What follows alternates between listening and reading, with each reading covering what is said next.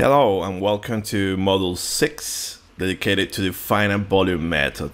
Okay, so in this model we're going to demystify in particular the dictionaries, the input files, fvSchemes, SB solutions, and to some extent also controlDict, some actions are. So it is difficult to put all the theories, the finite volume node behind OpenFOAM to put it in let's say half an hour 40 minutes okay? But this is just to give you a brief idea what is happening but very important we're going to give you best standard practices okay? So now you are not to be you are not going to be any more blindfold on just putting actions there okay? So let's start with the finite volume method it is a fast introduction okay as it is implemented in OpenFOAM which is in a standard uh, implementation that you will find in the literature. So the first sense that uh, we will use this equation to explain all the concepts. Okay, so this is a general transport equation. Okay, so as you see in this equation, we have a temporal derivative, a convective term, diffusion terms, and source terms. Each of these terms needs to be discretized, but also from this uh, equation, we can derive the Navier-Stokes equations and all the models that we're going to use. So the practice that we're going to show you will apply, we're going to show you the practices using this equation, but also will apply to the Navier-Stokes equation or any equation that can, can be derived from this one. So important thing now, our problem statement is that we want to find the approximate solution to the general transport equation for a transported quantity phi. Okay, we're transporting this in a given domain with given boundary conditions and initial conditions. So this is a initial value initial boundary value problem. We need to give initial conditions and boundary conditions to get it started. So this equation is a second order equation. So for good accuracy, it is necessary to use a method that is at least second order accuracy. That have the same order of accuracy as the equation. And this is extremely important okay? And remember this from the beginning that your final solution needs to be second order accurate at least for these two terms no? The the, the space the space derivative is the space term no? Then we have the time derivative that here to some extent we can get our way using first order accuracy for both these terms including source term, we need, we need high accuracy. So here also we're going to assume that the discretization practice, it is at least second order accuracy and accurate in space and time. As a consequence of this requirement, all dependence variables are assumed to vary linearly around a point p in space and time, okay? So these are just Taylor expansion, okay? So we take Taylor expansion, there is a truncation error, and these these approximations here are second order accuracy. Okay, so these are what, what, what we're going to call profile assumptions. So let's talk about domain discretization and the mesh information and variable arrangement in the finite volume method implemented in OpenFOAM. Okay, so domain discretization or, or mesh generation just consists in dividing the solution domain into a finite number of arbitrary control volumes, okay? Like the ones that were illustrated here, okay? They can be of any shape in OpenFOAM, there is no limitation. So in each volume, okay, the solution is sought, okay? The control volumes also can be of any shape, you can use tetrahexes, prism, pyramids, whatever. Okay, the only requirement is that the faces that may out the control volume needs need to be planar. You cannot use no faces with curvatures, okay? Stuff like in discontinuous Galerkin, cannot be used here, okay? They need to be planar. Also, we know which control volumes are internal and which control volumes lies on the boundaries, okay? So we know we know the location of the faces that made out the the contour of the domain, okay, the boundaries, surface boundary. So in this control volume that illustrated in this figure, P represent the centroid, okay, the cell center, and F represent the face center. So each control volume can have multiple faces. So we know this information. Also, we know the neighbor to this to to to this uh, to this control volume that shares the common face. Okay, so we also assume that the values of all variables are computed and stored in the centroid of the control volume VP, and that they are represented by a piecewise constant profile, the mean value. Okay, so this is the mean value. We assume that the value is constant in in all the surface and can be approximated like this. So pay attention that this is approximately divided by volume. So say that if this volume becomes zero or very small, this can be a problem. So this is now as the cell-centered collocated arrangement, okay? And this approximation is a second order approximation. So you will see that every approximation that we are going to introduce, they are second order. So it's putting all together, okay, it is a lot of geometrical information that we need to, to track, or at least the solver needs to track, or if you want to implement no, a, a complete uh, finite volume solver, it's a lot you need to take into account. So there is a lot of overhead goes into this data bookkeeping. Okay, so at the end of the day, the finite volume method simply consists in conservation of transport quantities and interpolation for information from cell centers to, fa to face centers so you can compute fluxes. Okay, later we're going to go into detail. So the control volume in summary, you know, we know that the control volume VP has a volume V and is constructed around point P okay so that's why the notation we're going to use vp notation okay the p probably means primary if i were recalling some old reference uh, the vector from the centroid P of Vp to the centroid N of the neighboring control volume Vn is named D. We know this vector and also we know the point where this vector intersects the face. Okay, so we know the face center, but also this point, and recall from the meshing lectures that this different here is the skewness. Also, we know the normal to the face center, and we know also this angle, the orthogonal angle okay? So all this information is known. We know as f okay? Also we know this vector pf and fn okay? That all this information is going to be used later now when we're going to start to use to do interpolations so now let us recall the Gauss or di uh, divergence theorem, which is very, very important in the finite volume method because we use it to transform volume integrals into surface integrals. So now that we have surface integrals, we can compute fluxes, okay? So basically the Gauss or divergence theorem simply states that the outward flux flux of a vector field through a closed surface is equal to the volume integral of the divergence over the region inside the surface. Okay, so this equation. So this is fundamental in the finite volume method. And as I say, we would use it to convert volume integrals into surface integrals. We also can use it to approximate gradients. By the way, from now on, when you see in the notation ds, okay this is a contraction to normal the dot product normal and the surface of the area of the faces okay?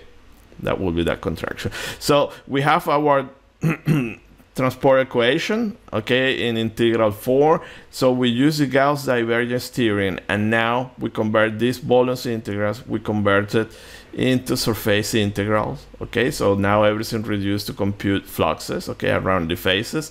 We have the tiny integral so the, we can use any tiny integration method okay? There is no problem there. So at this point we need to see how do we compute gradient stairs source stairs and convective and diffusive fluxes okay so, so far we're just addressing some theory and now we're going to go general theory now, now we go into specific detail of each of the, of the terms that we have in the equation. Okay, and remember that in any equation that you can derive from this general transport equation, the practice that we're going to see, they are the same. So the convective curve is this one. So you have it, an integral equation.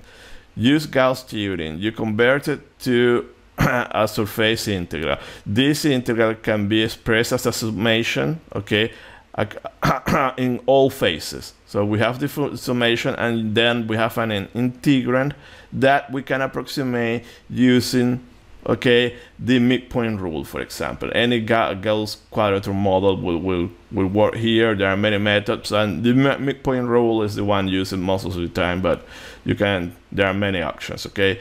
So when you have this one and you approximate this integrand using the midpoint rule that basically will tell you that the value in this face is equal to the value in the cell in the face center. So you have this one and see that everything this in this volume integral now we have reduced it to a summation of this quantity all over the faces. So you see that this is a flux. So this is when I talk about flux, we're talking about this when you are getting a flux of the transported quantity. Okay, so this is what we get. All these approximations that you see here are second order accurate, at least. Okay, the midpoint rule is second order accurate approximation. And we proceed in the same way for the diffusive term. So you use Gauss theorem, you convert it to a surface integral, and then you divide it. No, you do a discrete summation of the integ integrand on all over the faces. You use the midpoint rule, and you get this. So now you have a summation, okay, of the diffusive fluxes all over the faces. Important here that we have a, this is a Laplacian, and the Laplacian is equivalent to the divergence of the gradient. Okay, so be careful. This is just uh, some notation. Okay, so here we're just taking the divergence of the gradient. Okay, and see that when we discretize a Laplacian, we have a gradient. Okay, now we move to the gradient terms. The gradient terms, there are many methods to approximate this one here, we're using the, the, the, the Gauss theorem to approximate it. So basically, there are many uh, steps involved to arrive from this to this. Okay, I'm not showing those steps, but again, you, you can go to the literature and you can find a demonstration of this Gauss theorem. Okay, but see that we can approximate the gradient in the cell center as a summation of the fluxes in all faces, okay, divided by the volume. So see that this is a problem. If your volume is, is zero, you are going to get infinite gradient. Okay, so that is what is important always to get good quality meshes because you have very, very high ortho uh, orthogonal values, okay, face orthogonality, this value will get closer to zero and your grade and you're going to get problems problems with the gradient. So this is the, the method that we're showing here is the the, Gauss cell base. There are many ways to approximate the gradient. So you get, you have also Gauss no base. You have also least square, fourth order accurate method, many of them. So this is the, the, the most basic one, which is second order accurate. Probably the best method to approximate the gradients is the, is the least, least squares. Then you have the. Source terms is something that you add to your equations and to approximate this one is relatively easy because it's just a quantity that you have it in the cell okay? You you put it in the in the cell center. So something that you have to be careful also that this source term can be linear or non-linear. So if you have non-linear source terms there is some linearization involved. However in OpenFOAM you need to deal with that okay? But if you are doing your implementation be careful that there is some linearization here okay? And you have to be careful careful okay? That is in the cases you have nonlinear terms your term is linear is just adding a quantity there no? Uh, a source or of a, or a thing. Uh, so using the previous equations to evaluate the general transport equation over overall control volumes we obtain this semi-discrete equation. So see that we have summation still we have this time derivative but now we have these convective and diffusive fluxes and we have the source there. So now everything that you have here can be computed.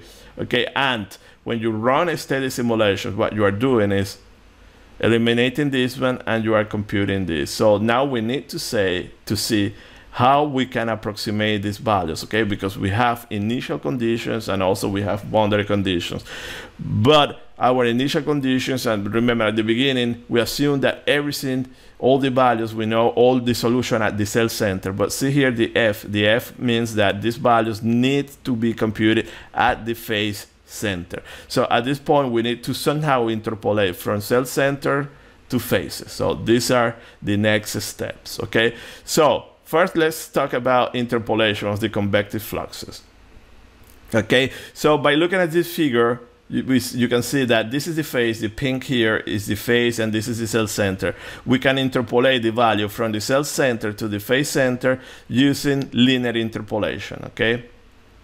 So see that you know this value, you know this value, and a simple linear interpolation. This is second order, this is accurate, this is fantastic, very easy to implement, but it has a problem that it generates oscillatory solutions okay? So if you, you are working with strong convective flows this will generate oscillatory solutions. It will generate what we know wiggles in your solution. So this is a problem okay? So there are ways to solve that but this is a very valid method. You can use it okay? So here you see that we have the approximation here. We can use this equation okay and then fx is just the weight okay the distance between the different uh, P and N to the face center. Okay, so this is a weighted interpolation. Okay, so this is finite difference. Okay, centered finite difference we're using. Okay, this is equivalent to centered finite difference.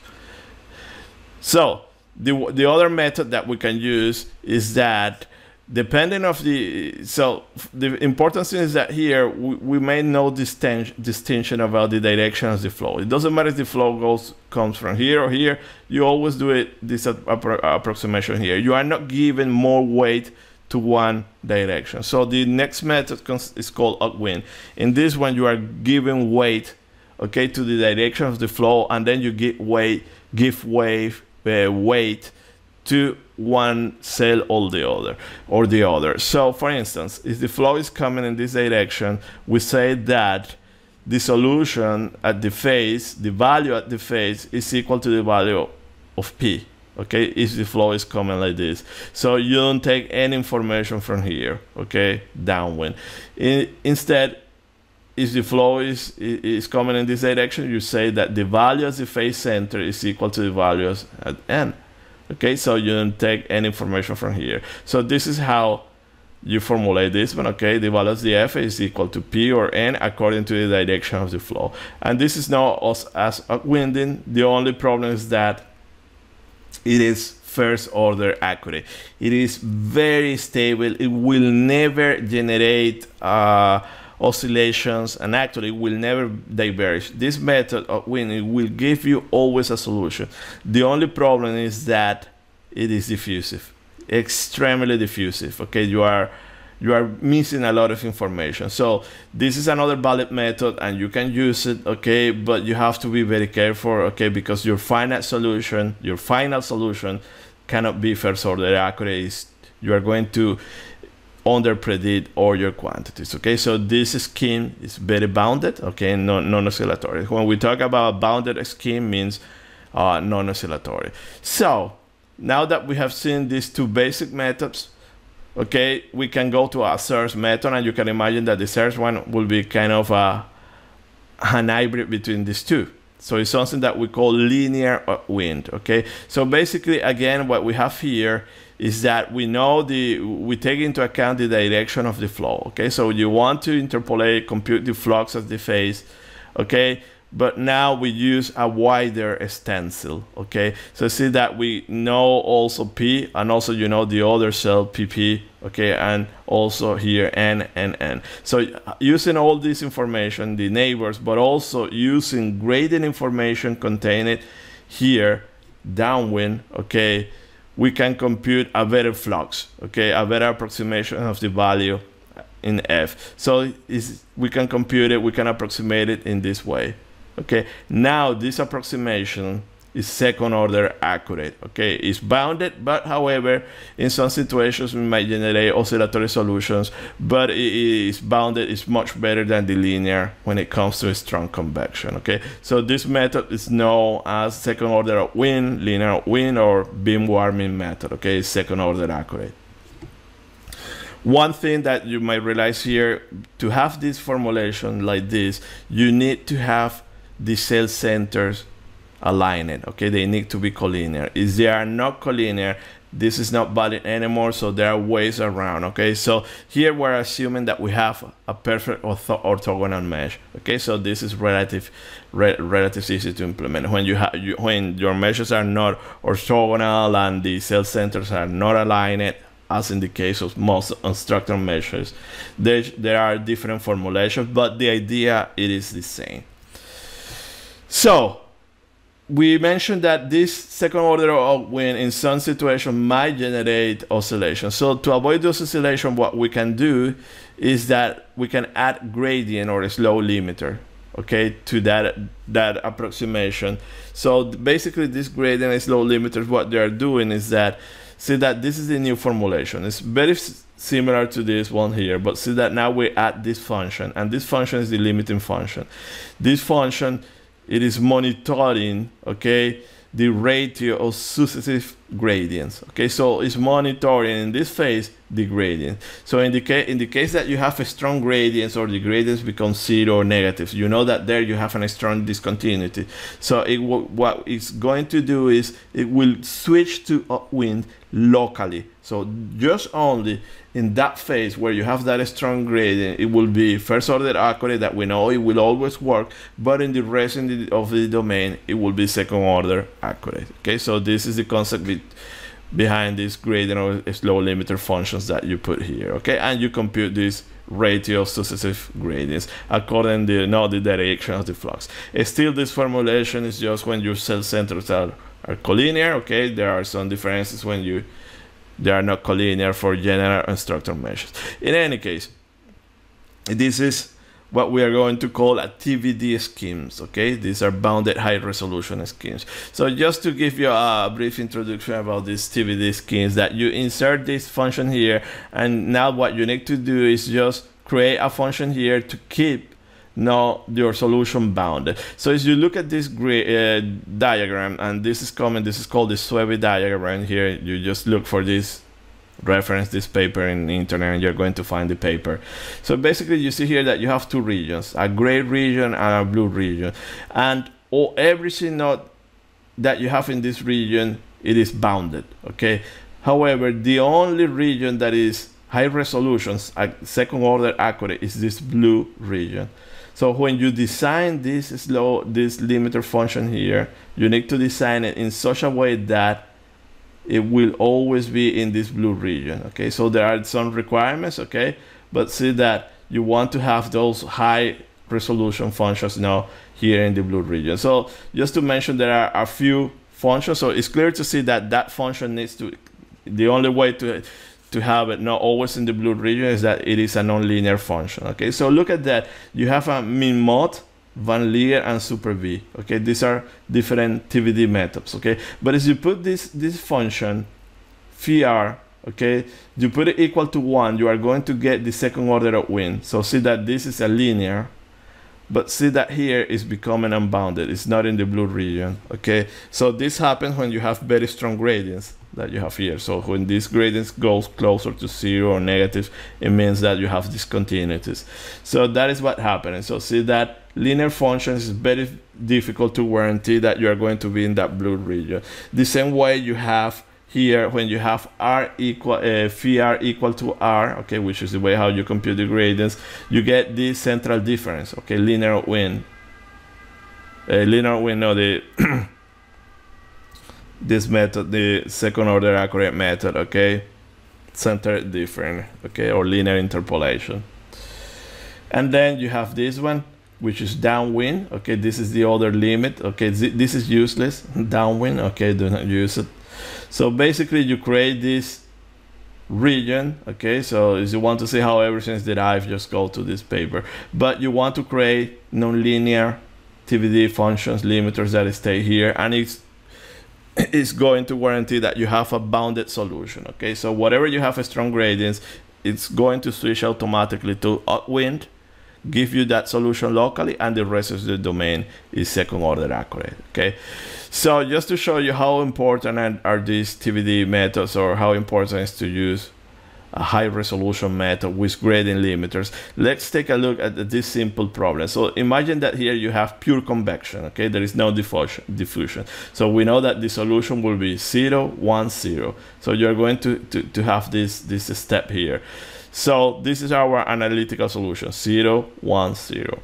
And these are strong discontinuities here, okay? So you can see this as shock wave or the interface between water and air. So this is very difficult to solve numerically. Even in this very simple no, visual example, it's very difficult to solve numerically. And all these TVD schemes are where you created just to solve this strong discontinuity. So see here that using different methods. So see, upwind method is extremely diffusive. So see that this is a lot of numerical diffusion, okay?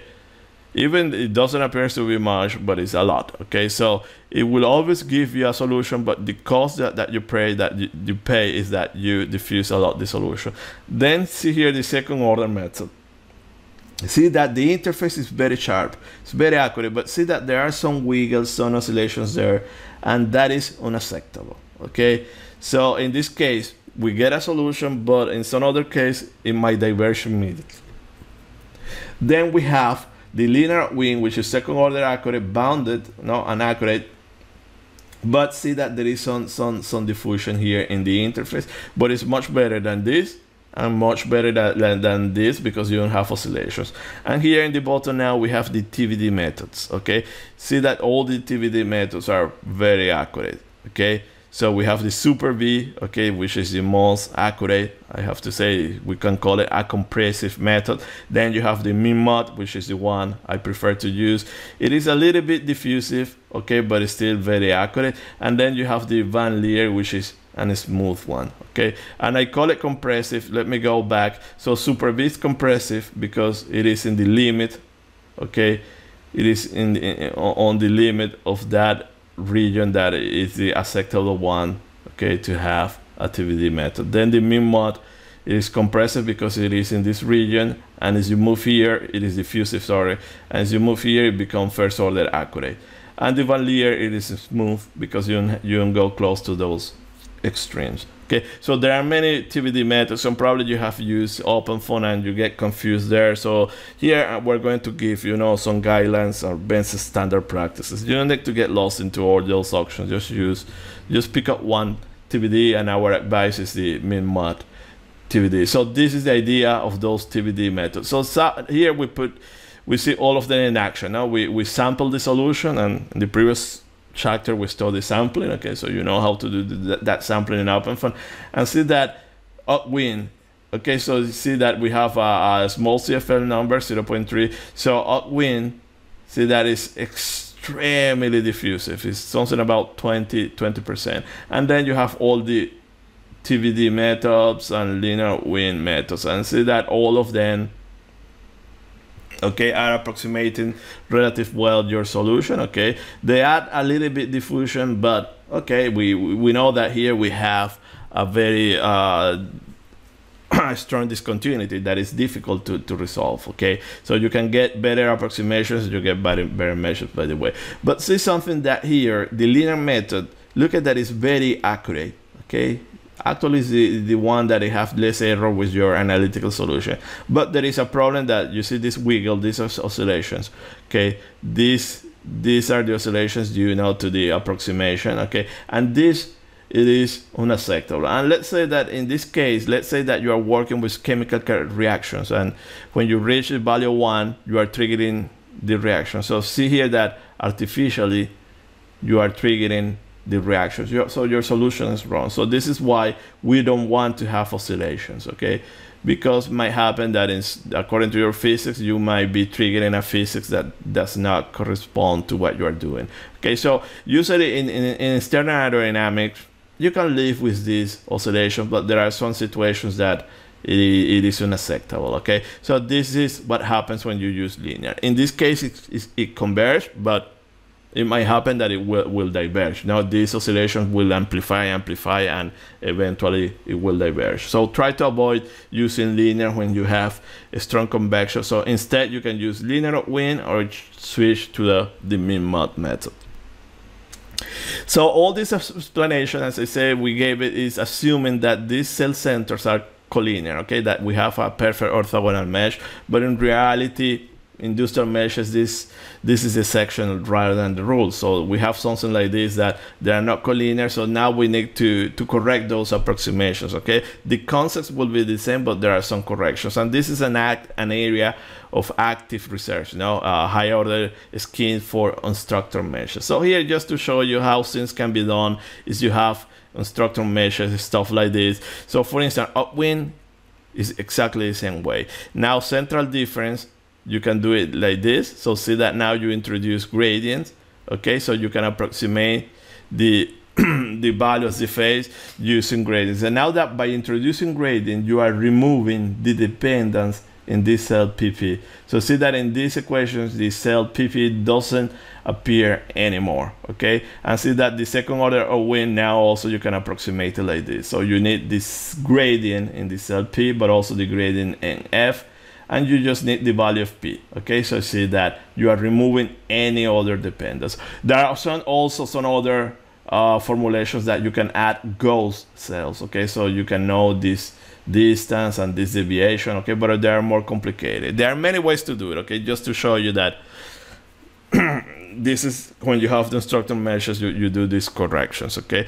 So it's easy to demonstrate also that when this cell center is collinear, okay, that formulation can also, can you, you fallbacks to this one, okay? It is equivalent to this formulation. So this is kind of what we have implemented. You don't need to do anything in OpenFOAM to choose this in this approximation just given the right name in fvScheme and that's all. But you need to, to, to do anything to make the distinction between collinear cells or perfect structure meshes. Then also, we know that for the TVD, we need to compute the rate of successive, successive gradients. So again, there are many ways to do that. Here, I just showing, showing you one way to do it. So see that you compute it like this and you are removing any dependence on neighbor cells. Okay, so now this rate of successive gradients, you can approximate it like this. So everything now depends only in the gradient in the cell P and the values at the cell centers, okay, in P and N. It will be here U and D, you know, talking about upwind, down, downwind cell, okay, upwind cell, downwind cell, downwind cell, upwind cell. Okay, so this is one way to approximate it. There are many ways, and probably this is one of the best ways to do it. Okay, so now also what about gradients computations? Okay, so there are many ways, and this is using the, the, the grounds green, green Gauss theory. Okay, we can approximate it like this, and just to stress again, look at that this approximation you divide by the volume. So if this volume is close to zero, you're going to have problems with the gradients approximations at the cell center okay? You approximate at the cell center and then you can approximate you can interpolate then you can interpolate it at the face okay? Using linear interpolation. So this is what we're going to to talk now gradient reconstruction at face centers. You approximate it at cell centers for instance using this method but you can use least square or whatever okay? So this is the Gauss cell base that we're showing there. So now how do interpolate how do we interpolate the, the gradient at the cell center to the face? Well, sim very simple. You can use for instance this method, linear interpolation. Okay, we have seen that already. So this is valid. Then there are many many other ways to do the, this re reconstruction so for instance there are some methods that you can minimize the skewness okay i'm not going into details there are pretty much equivalent. They are very similar, okay, but they tend to be a little bit more elaborated. But this one is, is very valid, okay. So the only thing that you need to know, your grade is in P and N, and then just interpolate it at the face, and that's all. Okay, you reconstruct the gradient at that face. So let's talk about now interpolation of diffusive fluxes in orthogonal and non-orthogonal meshes. So if you have an orthogonal mesh, remember that this is what, what is happening is that the vector S is parallel to D. Okay, so you can approximate approximate the diffusive flux like this. Okay, it's cent central differences. Okay, so for the diffusive flux, it's, it's perfectly valid to use central differences, and actually, it's the best way to do it. So see that if you have this, you do it like this, and if you have different the the, the the lengths PF and NF are different, you use a weighted interpolation. But the problems arise when you have no orthogonality when S is not parallel to D. So when you have that case, and look at that here, this angle, this different here is 20 degrees. Okay, so if you see that you get 90 degrees, you get volume zero, and then your, your gradients will, will diverge. So what you do here, okay, to approximate the, the, the, the, the diffusive fluxes is that you split that computation. So you're going to have an orthogonal contribution and non-orthogonal contribution, kind of a correction. So your orthogonal contribution is this one, and then your non-orthogonal contribution is this one. So this is implicit, explicit computation. Okay, so this is what you do to correct the the non-orthogonality. So there are different methods implemented. Okay, so we're going just to see this one, the over relax, which is the one probably the, the, the, the, most accurate one, but also is the one implemented in OpenFOAM. And most of the CFD software use this one, but have in mind that there are many methods. So basically what you do using this over relax uh, method to approximate diffusive fluxes is that you split it like this. Okay, this quantity is computed like this. Okay, so you will see that this is some vector just dust your nose in vector calculus and just to see the, what you get here or linear algebra also. So you, if you get an orthogonal mesh, this is equal to one. And this one will go to zero, okay? So basically you compute, this one is computed, you put it here, and then you have the factor k. You know a is minus one and you can compute k.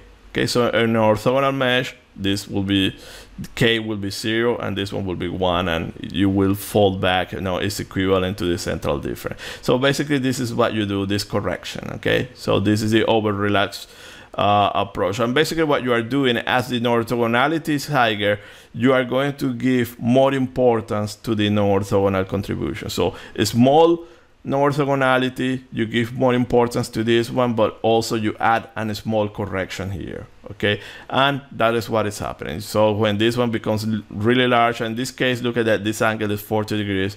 When this one starts to become larger and larger, you are giving more weight to this computation. So these are explicit.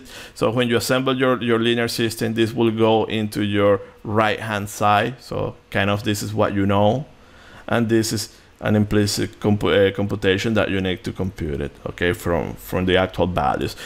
So as you have seen that the mesh, okay, can induce an error. So basically this is what we want, okay, orthogonal and non-skew mesh, okay. So when you have something like this, you are 100% sure that you are going to get a very nice solution, okay. And actually you can use linear method and stuff like this.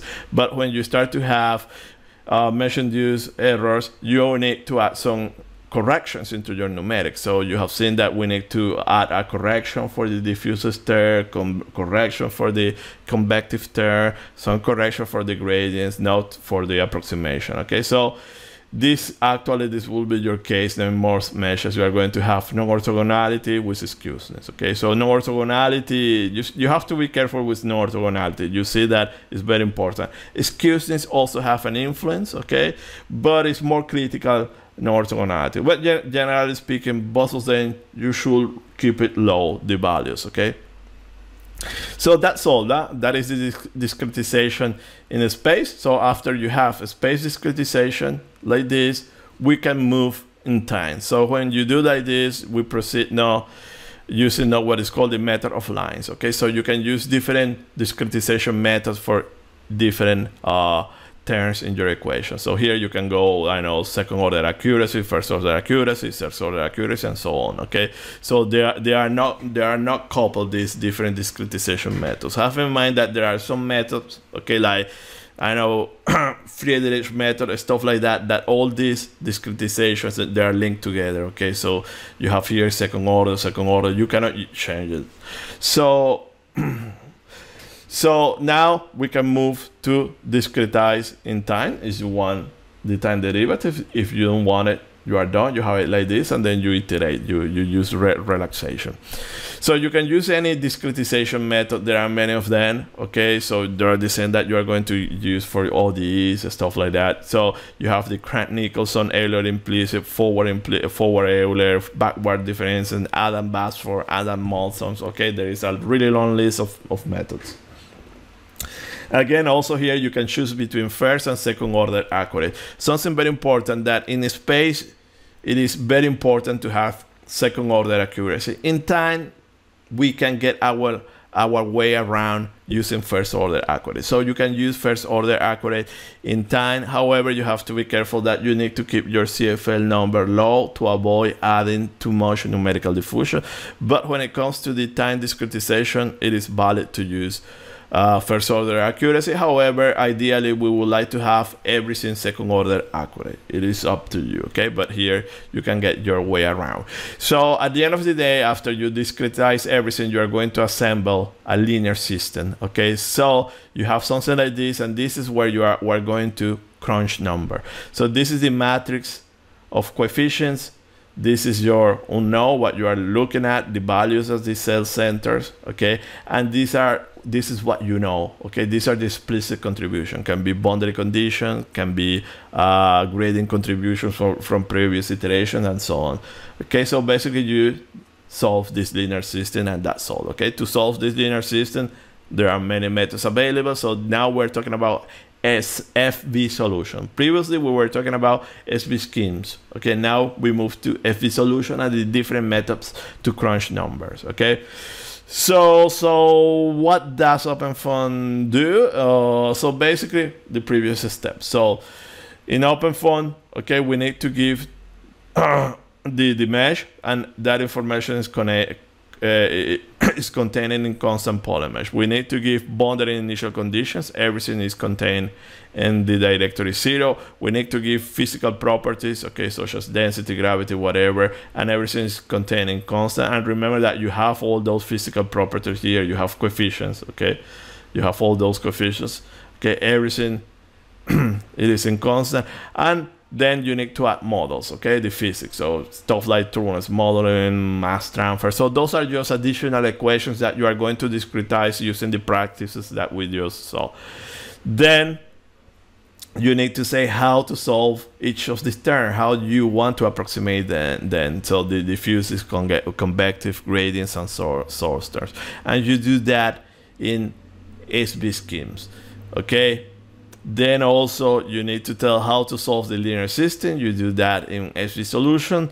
And finally in controlDict, you need to give information such as time state, CFL number, say, uh, saving frequency and so on okay and additionally uh, do not forget to to set up your function object that probably here is wrong should be let me update it here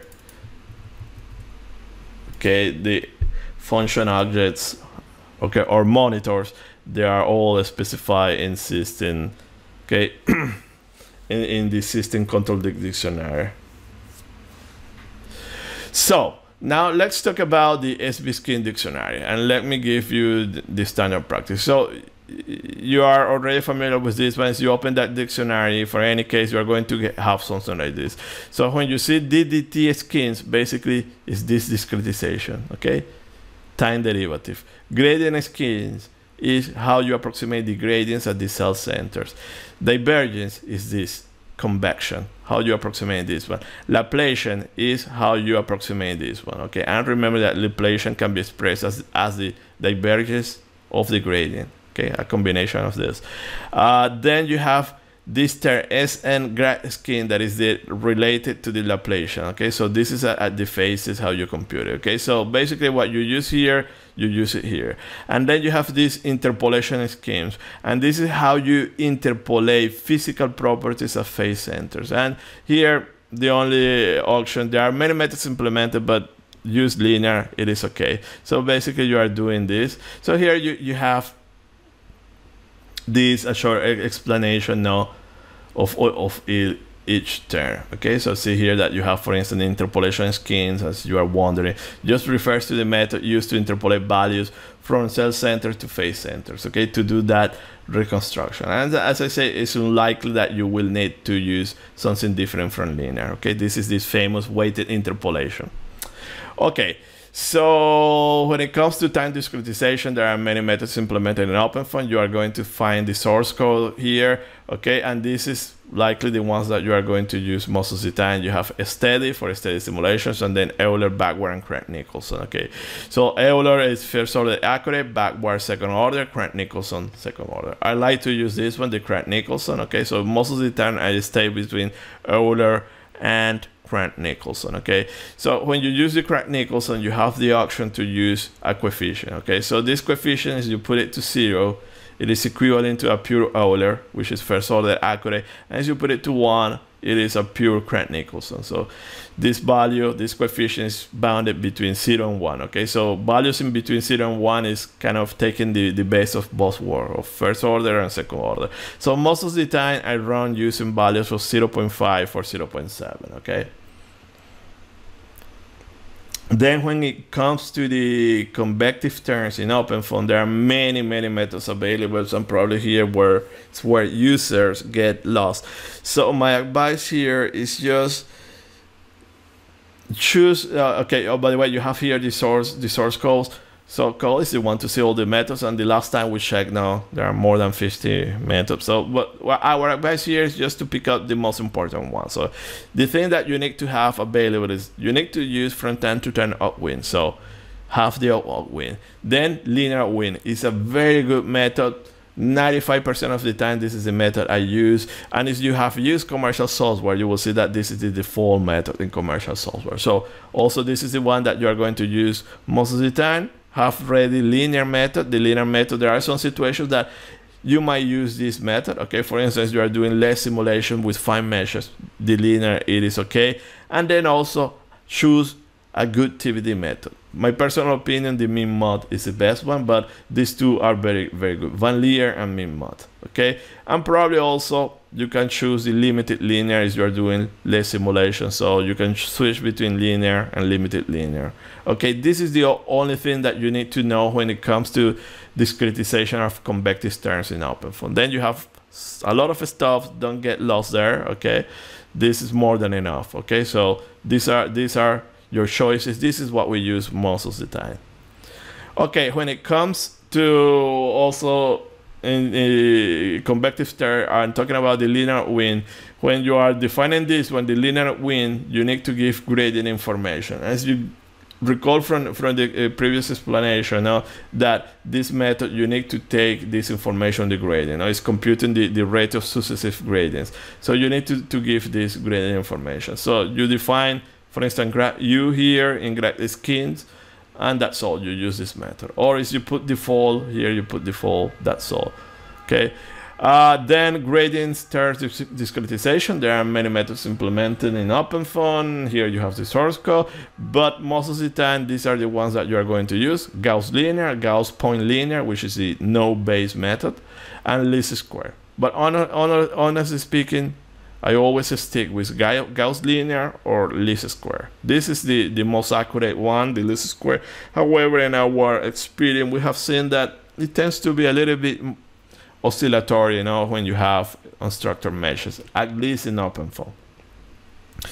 Okay, so remember that we also can, can add limiters to the gradients to avoid no diffusion, uh, to, to avoid oscillation. However, those limiters can add some diffusion due to clipping, but we're gaining stability, so it's not a bad idea. So when it comes to limiters, you have here the location of the source code, and these are the limiters that you can add for the gradient. So if you have seen previously this keyword cell limited and then like cell limited Gauss linear, this is a gradient limiter just to avoid oscillation of the gradients. Okay, so it will add they are going to add a little bit diffusion due to clipping but they are just removing oscillation. So it's always recommended to use limiters and the recommended one is cell limited. This is the recommended one with any combination of this okay? So here you have a little bit no description about these limiters and what they are doing. So we go from more diffusive to less diffusive okay? So md means uh, multi multi-directional okay? So it's a very selective okay? It's going to clip information only in the direction where you have that gradient. Instead the cell limiter when you you don't use the keyword md when you click information of the gradient, it will do it also in the other direction, in all faces. So it will add a little bit diffusion, okay? But honestly, my advice is uh, use this one, okay? It's, it's, more stable, but it will add a little bit more diffusion. So basically, cell limiters will limit cell to cell values, and face limiter will limit face to cell to cell values, okay? so this is our list. And um, by the way, the, the default method is the min mod, but there are some other methods that you can you can use, but stay with the min mod, which by the way is the same that you have used commercial software. It's the same method that you find in commercial software. It's the cell limit, cell limited with the least square, and the cell and you use and they use the min mod method. So how you define the, the gradients limiters is like this. Okay, grad skin okay cell limited you enable that gradient limiter gauss linear and then you have this blending factor or coefficient that is bounded between 0 and 1 0 means the, the, the slope limiter is off or the gradient limiter is off. 1 means it is on and it's very aggressive. 0.5 is not so aggressive so it might generate some oscillation but it will not add so much numerical diffusion. So be careful because when you use a, a value of one, it is very aggressive, so it can add a lot of a lot of a lot of diffusion okay due to clipping. And there are some specific variables that that, are, that is critical because it can add some diffusion. In particular if you are doing stuff like free surfaces. It's not recommended to put this one to one because it can add too much diffusion in the interface. So user recommended values is 0.5 okay and then for velocity, yes, I recommend to put it to 1 for velocity and the rest of the variables put it to 0.5, okay? So you can do it in a selective way. So here default means for all gradients, but then you can say grad P, grad U. So usually grad P is a good idea to put it 0.5 just to have an accurate computation of forces and also for temperature 0.5. So now let, us talk about Laplacian terms discretization. Okay, there are many methods implemented in, in and remember, the Laplacians are very sensitive to non-orthogonalities here where we have that correction. And Laplacians, you have it in every single equation. You have it in momentum equation, energy equation, all turbulence models, you have Laplacian. So it's very important to use to use the, the, the, right method here. So for instance, these are the options that you have available in OpenFOAM. Orthogonal, corrected, limited, uncorrected. Orthogonal, it does what it says. In case that you have orthogonal meshes, perfect meshes. So this is the section. So do not use this one. Just go ahead and use limited. And when you use the limited, you are doing this. So remember that you have this correction. So in the limited, you add this correction this is the method that you should you should use limited. And uncorrected is something like this. I don't recommend you to use it okay? So it will be like delimited but you are not adding the explicit contribution okay? So how does it work here? So you define it like this. Default gauss linear. So this is the interpolation method now of the diffusion coefficient okay? So again this is I don't see any reason why to use any method, so go ahead and use linear, but there are different methods. So if you are working with, for instance, uh, conjugate heat transfer, maybe it might be better to use another method, stuff like uh, harmonic mean, okay? But for the moment, let, let's use it the linear and then see that delimited and then you have this coefficient. So if you put it to 1, it's equivalent to the corrected to this. But if you put it to 0.5, okay, you are adding a coefficient that is going to limit the contribution of this term okay? So that 0.5 it will be the kind of this this coefficient okay? So you is to avoid that the explicit part becomes larger than the implicit okay? So better we see it here okay? So just to make it clear now this blending factor is just to avoid no orthogonal contribution okay exceeding the, the orthogonal part. And why we need to do that? Because remember that this non-orthogonal contribution, it is explicit part. It's something that you have in your right hand side. So as it become larger, it will give you problems in your linear system and it might might cause oscillations. Okay, so basically you put here this one and so you put here 0.5, you are basically multiplying this 0.5, so it's not larger than, than this. Okay, it's as simple as that. Okay, so my advice always go use this one and put here 0.5. Okay, so most of the meshes. So if you have meshes with orthogonality between 70 and 85, that will be most of the cases. put it 0.5. If the orthogonality is less than 70, leave it to 1. But it's, it is okay to use it 0.5. Okay, so that is my best practice. So remember that you have Laplacian schemes. You choose it like this, and then you have this SN grad scheme. So usually whatever you put here, you're going to put it here. So they are together, okay? So what method should I use? So now I'm going to give my recipe. So this method, uh, okay, is the recommended one in most cases, okay? So see that what we have is this, this discretization, generally speaking, second order accuracy. So see that for the great, firstly, DDT schemes, and using Crank-Nicolson with a low value, so it's closer to first order accuracy. Then for the gradients, default cell limited Gauss linear 0.5 and then for velocity I use a very aggressive limiter and then divergence see that always the divergence of velocity it has to be at least second order accurate. This is important one. So see that I'm using Gauss linear at win and grad u. Okay, use this method. And then for the turbulence quantities, omega and k in this case, linear upwind, but also but for the turbulence quantities, also you can use upwind, there is no problem. Okay, using upwinding for the turbulent quantity, but for the uh, divergence of velocity, it, yeah, it has to be at least linear upwind, at least second, it has to be at least second order accurate. This is the range of stresses, okay, Gauss linear is okay, and see that Laplacian schemes Gauss linear limited 0.5. Okay, so this is the recommended for most of the cases. Probably here might be better to put zero, okay, so let me add the note here, you can put it zero, and this is a comment okay let me add the comment the color there okay boom boom boom boom Okay, so recall that if you put Crank-Nicolson to zero is equivalent to Euler, and then you increase that value, you are getting more accuracy, okay? So just you have to that, that note there. So then if you want something more accurate, you can use this, okay? So this extra accuracy, this is something that you want is you're doing LES simulation. So in LES simulation, usually you have very fine meshes of very good quality. Also, you are using low CFL number. So you can go with full, full second order accuracy, backward, Gauss least square, and here you can use linear, okay, with no problem, or limited linear, okay but be careful that this is this this is very very oscillatory okay? And you need to have very good meshes and also small small time steps. And then this is the one that i use to troubleshoot okay? For instance you run a simulation and that simulation is crashing. You use this method okay? So this is super stable but it's too diffusive okay?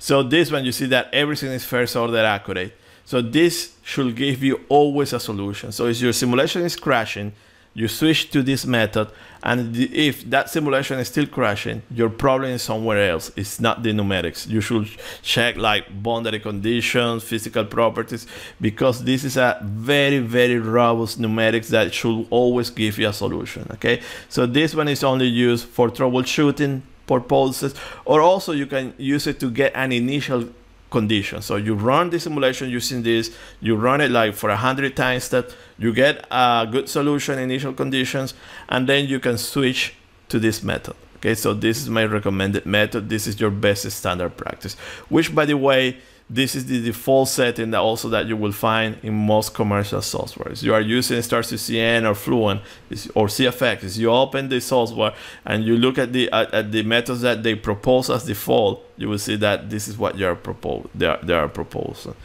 So this is it.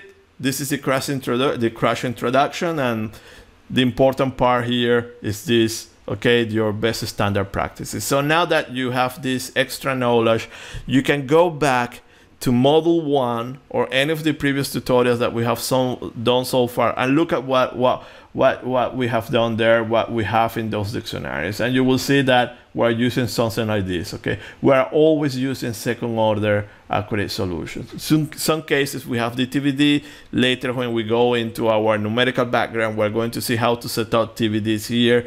But this is what we use most of the time, okay? This is okay this is fine to use. So that's all. This is a crash introduction. Hopefully you got an idea. I know it's difficult to explain this in in, in, in, in one hour, but this is it. Okay, so thank you for your attention and see you in the next videos. Bye.